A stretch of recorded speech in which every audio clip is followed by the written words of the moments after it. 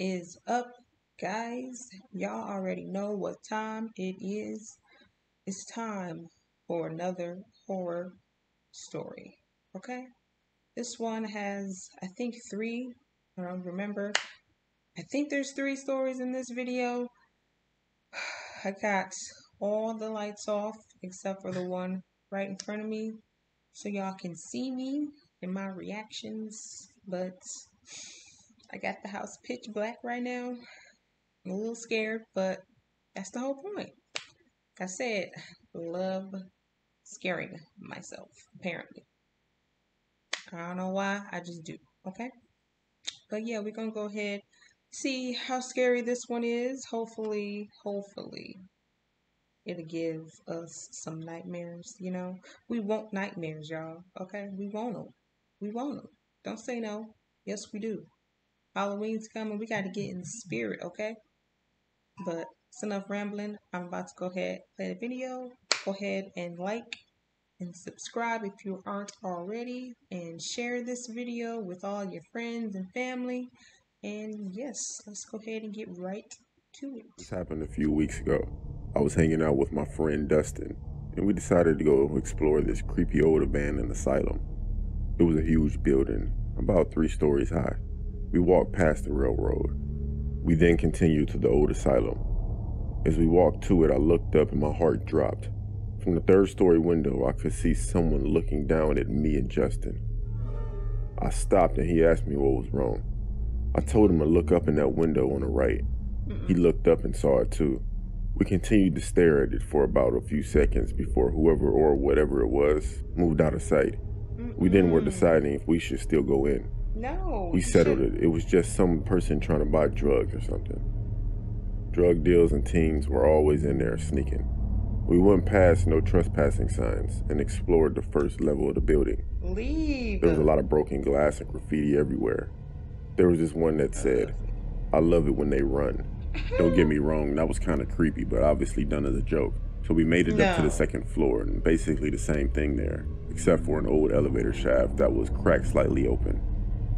Dustin turned his flashlight on and put it in the elevator. We saw a whole lot of electrical junk, some dead birds and animals. If that wasn't freaky enough, we also heard something walking above us on the third story. My heart felt like it was about to explode. I had a bad feeling about this, and I told him we should leave. Yeah. He said, nah, it'll be fine. And he started walking up to the third story. I didn't want to be left alone near the spooky elevator, so I followed behind him. No. We had our phones out, taking pictures of all kinds of stuff on the previous floors. As we walked up the stairs, I swear we were being followed, and I told Dustin to hurry up. He went upstairs, and I wasn't far behind. What I saw on the third floor of that asylum will haunt me for the rest of my life. What There were pentagrams and animals all over the place. It smelled awful up there. There were some rooms in the back of the corner.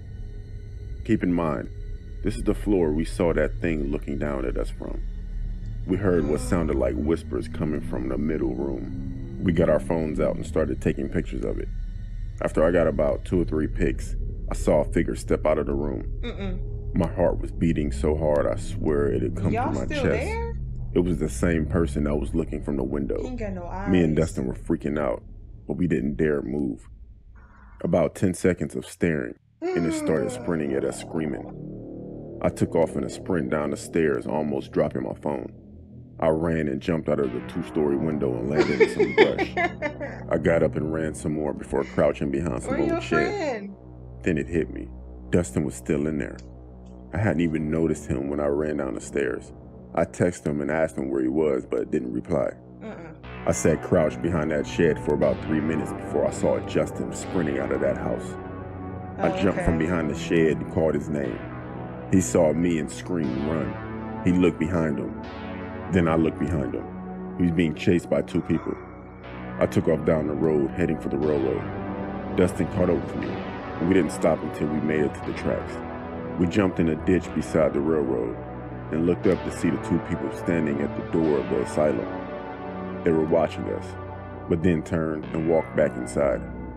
We ran up to the local burger place and sat down at a booth.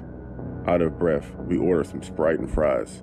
While waiting for food, I asked him what happened after I ran. He said the guy chased him and he ran down the stairs and saw me jump out of the window and he ran to the elevator where he found a small space behind some boxes to hide behind. He said after he sat there for a bit, the guy came down the stairs with another person. They were watching to see where we went. Then his phone went off because I texted him. He said they looked his direction and saw him. They didn't chase him down the stairs and out the door. And that's when I saw him and we ran. We didn't call the cops because we didn't want to get in trouble for trespassing. I don't know those guys, and I don't know what they were doing in that building, but needless to say, I don't think me or Dustin will ever go back there again. Who's that upstairs? I'm 33 and I have a son named Jeffrey. He's 8 years old. Recently, I was able to save enough money to buy Jeffrey a PS4 for his birthday. Three days before Jeffrey's birthday, I went on Amazon and bought a PS4 bundle that came with FIFA 20, Last of Us, God of War, Madden, and Fortnite. I ordered it so it would be delivered on Jeffrey's birthday to surprise him. On the morning of Jeffrey's birthday, I looked outside and saw an Amazon delivery van pull up to my house. Once he knocked at the door, I told Jeffrey to answer the door, as it was a surprise for him. This was something I regret. Because once the door opened, a man stood there holding His the eyes. PS4. And the way he looked at Jeffrey didn't sit right with me. He just stood there with a really weird smile staring at my son with wide eyes. I could tell Jeffrey was feeling uncomfortable as he looked up at me in an unsettling and confused way. I thought the man would just hand us the PS4 and leave, but the way he was staring at my son, I had to step in. I signed for it and I said thank you. He tall. The man just said bye, but he wouldn't look at me. He kept his eyes on my son, who was now behind me. My son and I were both a little put off by that man, but Jeffrey was happy with his new PlayStation and went to set it up in his room. The following Monday, I picked Jeffrey up from school and asked him how his day was. He told me the usual stuff he always says what he learned, what lessons he had. But one of the things he said scared me. He told me during one of his breaks when they had recess, it was a man. He had got his attention through a fence that was hidden by some bushes in the field where the children spend their break times. I asked Jeffrey what the man said to him. He told me the man was being friendly, asking him where his friends were, when the school let out, and even if he wanted to go to his house afterwards. I asked if he knew this man, and if he had seen him before. He said, yeah. It was the man who delivered his PlayStation on his birthday. And not only that, he saw the man walking around outside watching our house from across the street. I asked Jeffrey when the man was outside our house. He told me in the evening over the weekend.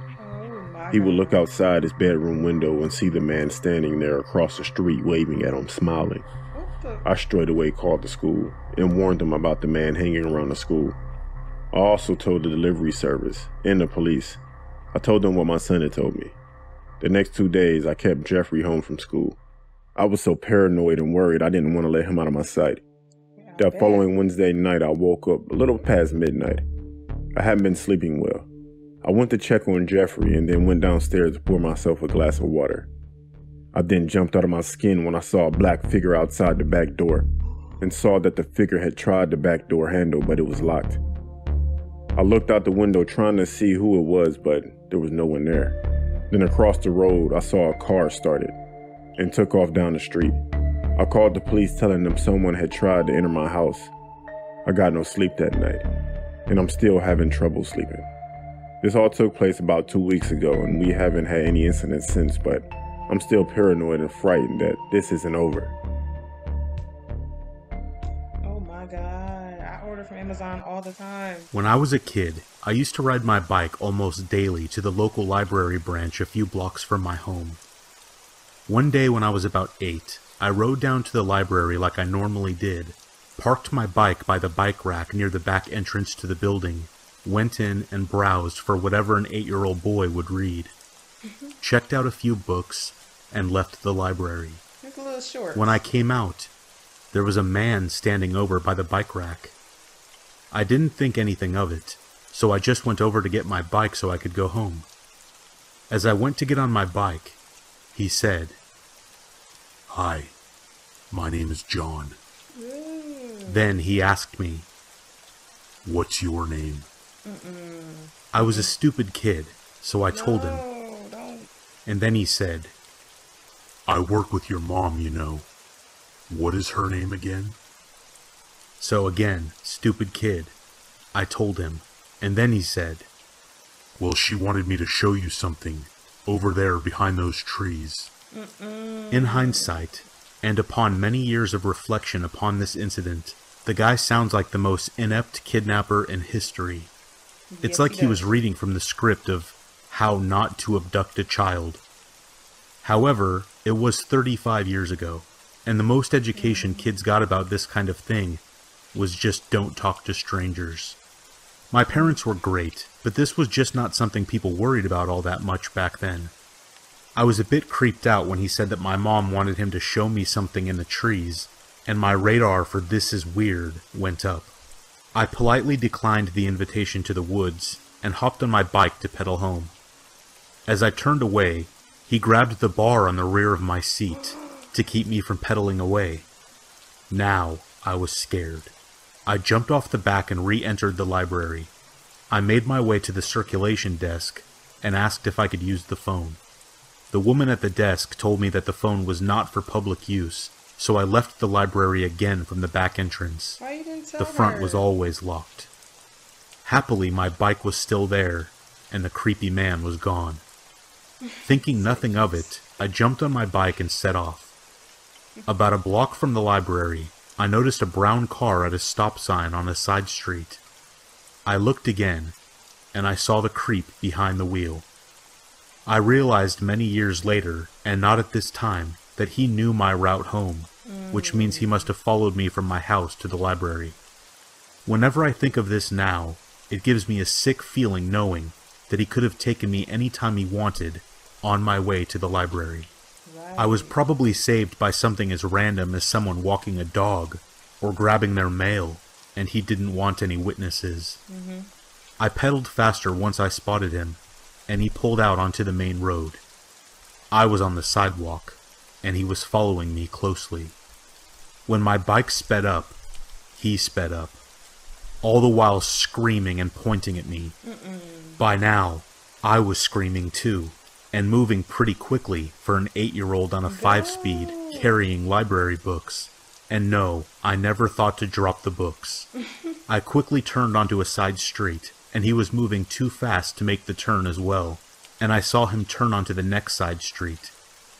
The side street I turned on led to my street, but there was a hill that I could not pedal up between my street and I. I got about midway up the hill when I had to get off and walk my bike up.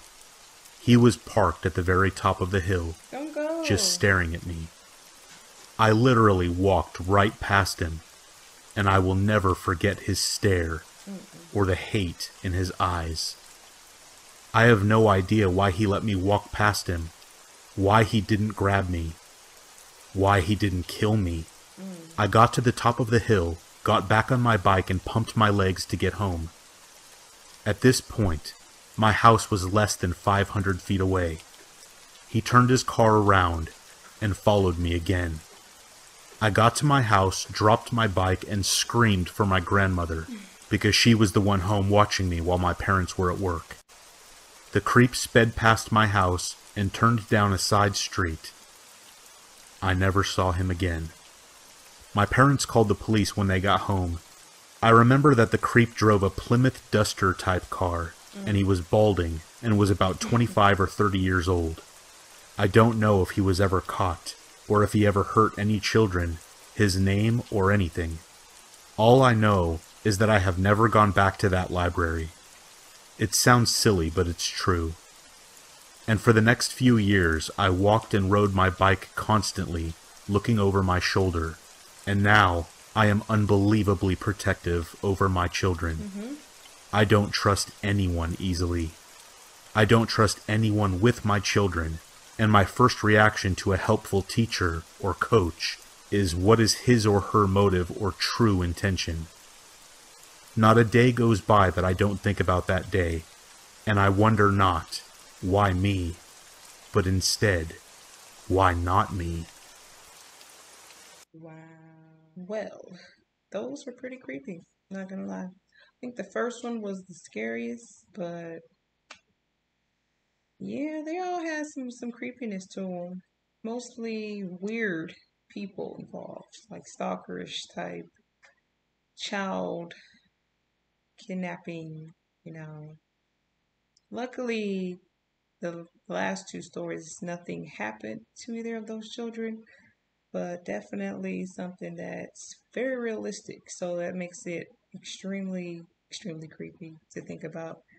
Be careful with your children, please. Don't be having them going to school by themselves and walking around by themselves. Like, make sure you know where they are at all times because there are a lot of weirdos out there. But the first one, they kind of asked for it. Like you saw the guy upstairs before y'all went in, and they still decided to go into that building. So I don't know what to tell them. Like, what were they thinking? What did they think was going to happen? I really think that they were doing some kind of like seance or I don't know, some ritual or practicing because they were using animals. But since those two, you know, showed up, I think they were going to try to, you know, step it up. And they're like, you know what? Since they trespassing, we might as well, you know, test them out. They're right here. Why not? You know, easy targets. They walked right into it. That's what I think that was going to happen. Luckily, they got away. You know, one of them jumped out of the window. He left his homie though. I'm like, where your friend at? But he made it out too. So they got extremely lucky. They really did. But yeah, the last two were very, very, very, very creepy and horrible to think about the fact that that stuff happens. Especially since I do order from Amazon quite often. I always do the no contact though. They just leave it on the front porch and go. I don't want them bringing it to me or anything, handing it to me because people are weird. I don't want to interact whatsoever. But that is all for this video. Please comment, subscribe, and share this video. Also leave a like and I will see y'all in the next one.